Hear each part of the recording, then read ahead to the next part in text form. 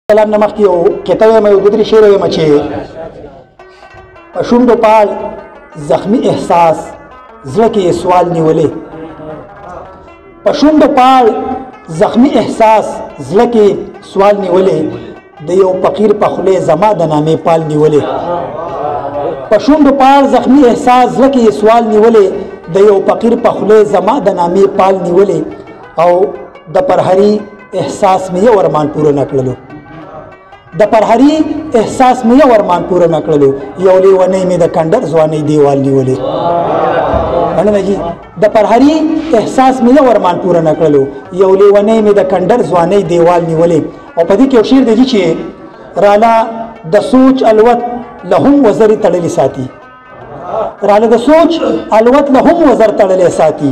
سپه هنر راله کلک د مزه د خیال نیولې مننه جی او یو قطر جی چې دانن چې زرا ګیر یم د غربت په دایره کې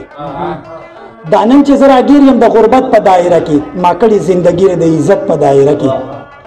دانن چې زرا ګیر یم د غربت په دایره کې ما کړي زندګی د عزت په دایره کې او مغرور د خپل ذات په دایره نه بهر مزه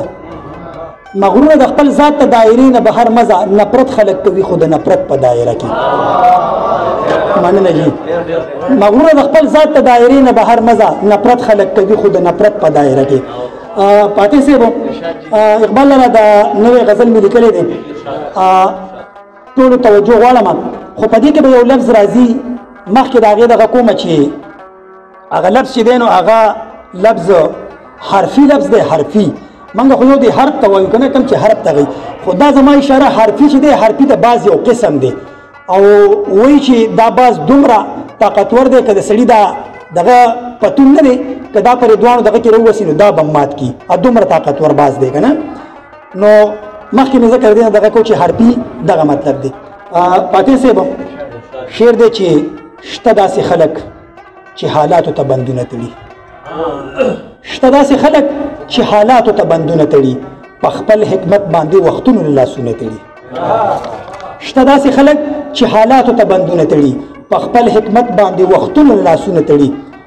او مو خو ساتلې مرغۍ هم چرته په لار نکړله بلله مو خو ساتلې مرغۍ هم چرته په لار نکړله هغوی هوا کې هم حرفي باز له سانګونه تړي مننه جی مننه جی مننه شته داسې خلک چې حالاتو ته بندونه تړي په خپل حکمت باندې وختونه له لاسونه تړي او موږ ساتلې مرغۍ هم چرته په لار نه کړله موږ ساتلې مرغۍ هم چرته په لار نه کړله هغوی هوا کې هم حرفي باز له سانګونه تړي او شعر دی چې چې دروازې هم د تقدیر په خپل عمل پرانیزي خود به کامیاب وي چې هغوی پسې سپونه تړي او لکه زین کړی اس هوا باندې سورلې شروع دي لکه زین کړی اس هوا باندې سورلې شروع دي زما سات زما ساده پښتون پردي جنگ ته ځان نه تړي مننه جی مننه جی لکه زین کړی اس هوا باندې سورلۍ شورو دي لکه ځینکړی هڅه وا باندې سورلۍ شورو دي زما ساده پښتون پردي جنگ ته ځانونه تړي او شعر له توجه غواړم دي چې داخله څه په شاړو سر دي لا تر اوسه پوري داخله څه په شاړو سر دي لا تر اوسه پوري د باباګانو مزارونو کې تاورونه تړي مننه جی